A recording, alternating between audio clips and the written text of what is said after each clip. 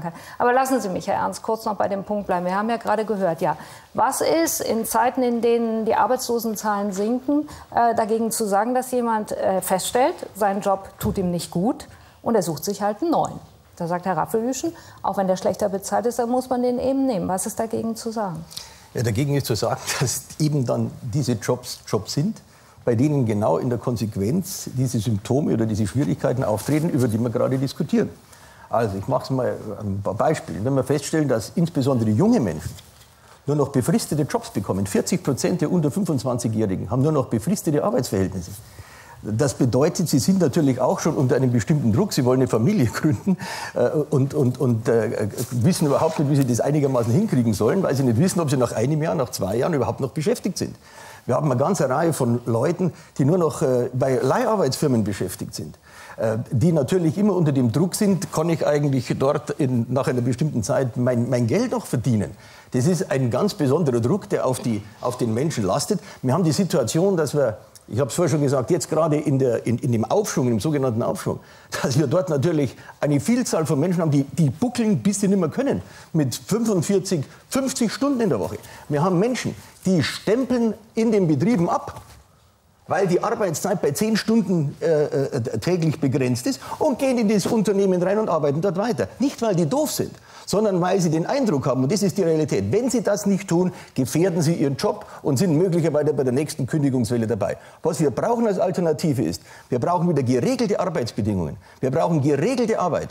Wir brauchen die Frage, wann ist eigentlich ein, ein, so ein Job befristet? Wann muss er unbefristet sein? Das müssen wir gesetzlich klären. Wir müssen klären, ja, ich weiß, dass Sie da anderer Meinung sind, Sie sind nicht in der Situation, aber viele Menschen sind in der Situation, dass sie dafür eine Lösung brauchen. Wie wir müssen, Ihre andere müssen Meinung, vielleicht, vielleicht noch einen sagen, wir müssen Leiharbeit klären. Warum ist es möglich, Leute einfach zu verleihen und schlechter zu bezahlen, als die, die sonst diesen Job machen? Das ist eine gesetzliche Frage. Das müssen wir klären, Herr Rappeler.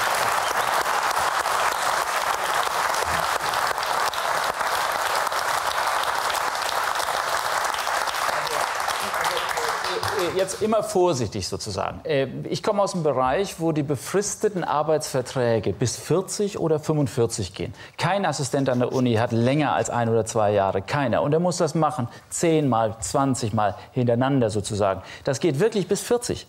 Äh, äh, und dann kriegt man einen Fünfjahresvertrag und mit 45 sind sie irgendwann mal entfristet. So, das heißt auf gut Deutsch, ich kenne befristete Situationen, Arbeitsmarktsituationen. Die Universität wimmelt davon. Und trotzdem sind wir produktiv und produktiver geworden.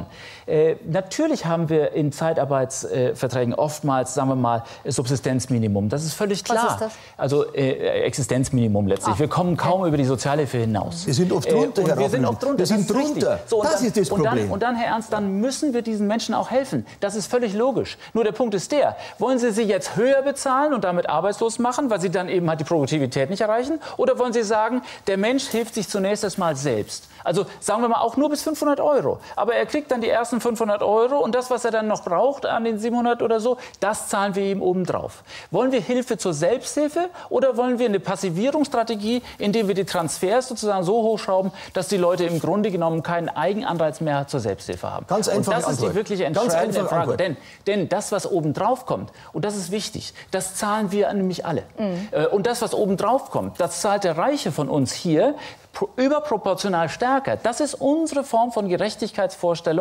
äh, die wir haben, wenn wir Armen helfen. Äh, da muss der Reiche mehr zahlen als der Arme. Und so haben wir es geregelt. Ja, äh, so ist die Bedürftigkeitsprüfung in der Sozialhilfe, ja, auch bei der Hartz-IV-Gesetzgebung etc. Von Arbeit pp. muss man das leben können. Das hat was mit Würde zu tun. Und solange das nicht akzeptiert wird, machen Sie, wenn Sie, wenn Sie Leute wenn Sie Leute das Gefühl haben, von der eigenen Arbeit nicht leben zu können, nicht mehr das Selbstwertgefühl hinzukriegen, dass man sich selbst ernähren kann, sondern Hilfe braucht und es immer mehr zunimmt, weil wir immer mehr Leute haben, die sozusagen unter dieser Grenze sind, dann entwürdigen Sie die Menschen und machen sie krank. Und das müssen wir ändern. Deswegen brauchen wir Mindestlohn.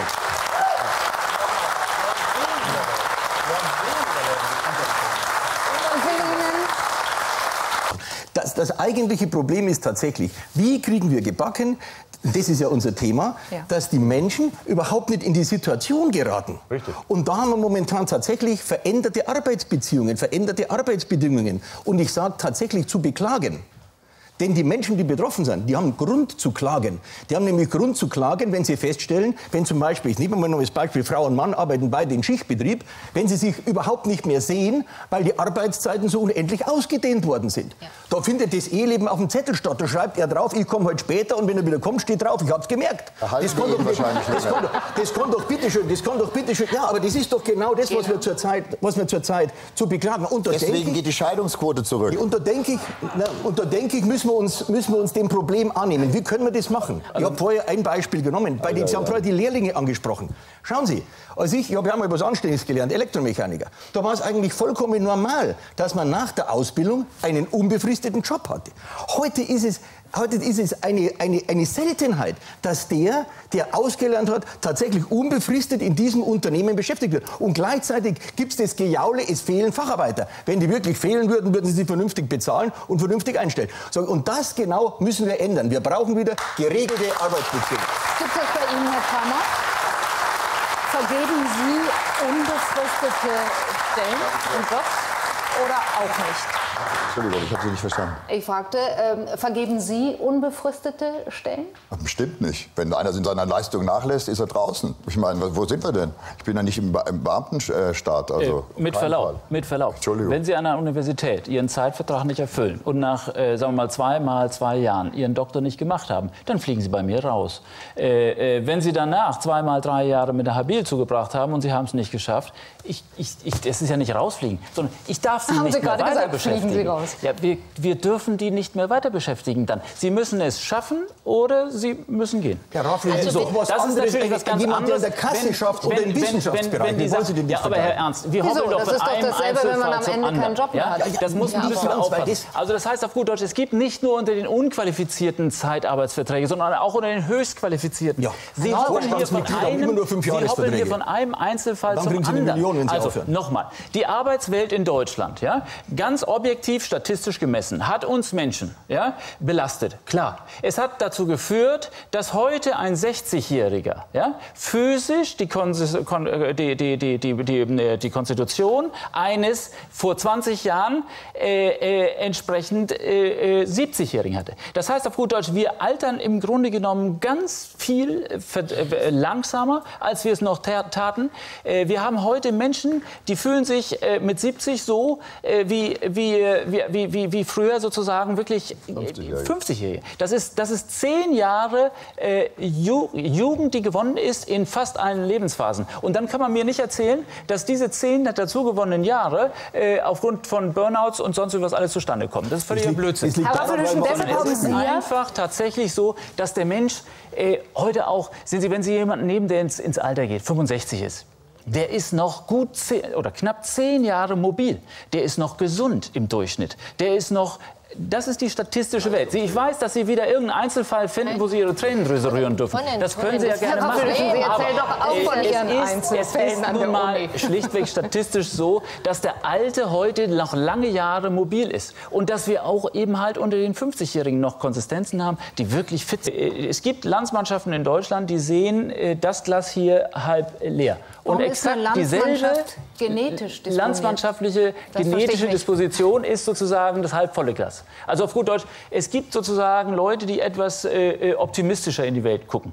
Und das ist äh, genetisch bedingt oder landsmannschaftlich? Das ist tatsächlich genetische Disposition irgendwo. Äh, und es ist landsmannschaftlich anders verteilt. Also, also es gibt Frustköpfe unter, unter manchen Landsmannschaften und es gibt auch, sagen wir mal, den Rheinländer. Und der ist nun mal anders als, als die anderen. Ich weiß, was er meint. Äh, und, ich weiß es und, und, Der meint, wenn man am Oktoberfest ist, in München ist, die Masse nur ja, halb voll ist, freut sich der Bayer trotzdem. Aber ja. das ist doch ein Quatsch. Nein, aber, aber, äh, das ist...